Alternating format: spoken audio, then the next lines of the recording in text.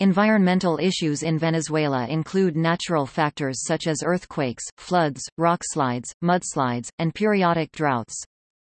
Venezuela ranks among the world's most ecologically diverse countries, having for example, a large number of bird species avian biodiversity.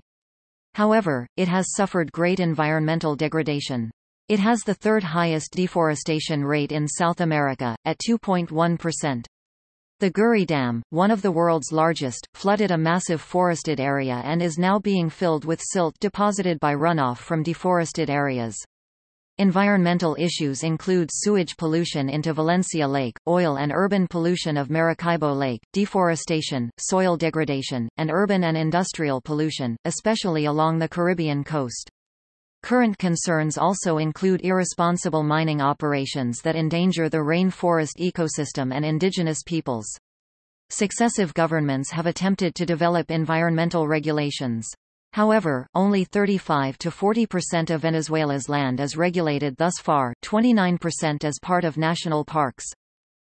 Venezuela has ratified 14 international conventions regarding environmental protection and sustainable development, while also taking forward-looking steps internally to protect and preserve the country's natural wealth. Venezuela has 43 national parks and 36 natural monuments, and is the country in Latin America with the largest proportion of protected lands, with over 55% of its total territory. Parks and monuments are only 17% of that total. The remaining protected areas are outside those parks and monuments. The nation was ranked second in South America and ninth on the world at the Happy Planet Index of 2012, with a score of 56.9.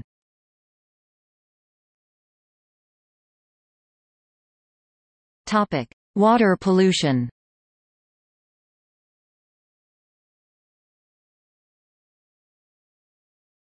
Topic: Zulia Falcón area. Countless sewage systems with not only human waste but also chemicals pour into the sea all along the coast.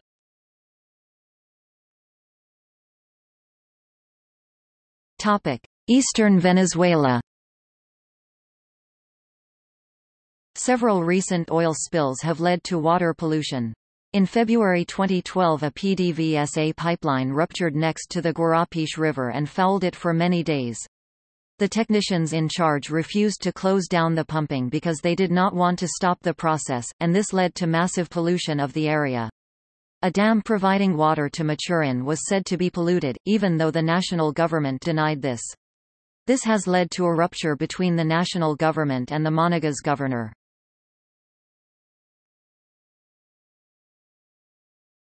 Topic: Valencia Lake and Valencia Basin. The Valencia Lake, formerly praised by Alexander von Humboldt for its beauty, is massively polluted due to the countless sewage systems pouring residuals. Pollution levels in the whole Carabobo area have increased over the years. After the Carabobo governor denounced tap water as no longer drinkable, Hugo Chavez said that was part of an agenda of fear and what the opposition governor said was nearly criminal. The city of Valencia, Los Guayos, Guacara and many other locations get their water supply from the Pao Cachinche Dam to the south of Valencia. At the same time, this dam gets about 80% of the sewage systems from Valencia. The installations for water treatment, the responsibility of the national government center Hidrocentro, are in disrepair. In 2007 the national government decided to pump water from the Valencia Lake, water unfit for human consumption, to the Pao Cachinche Dam. It installed a pumping plant in Los Guayos to do this.